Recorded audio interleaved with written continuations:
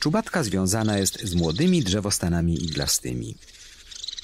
Charakterystyczne dla niej są szybkie, bulgocące, przypominające perlisty śmiech dźwięki, po których można odróżnić jej śpiew od piosenek wszystkich innych gatunków sikor.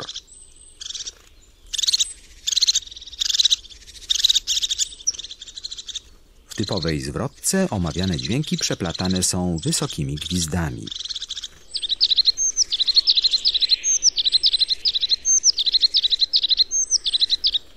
Tutaj natomiast sylaby te używane są jako głos objawiający zaniepokojenie w sytuacji konfliktowej.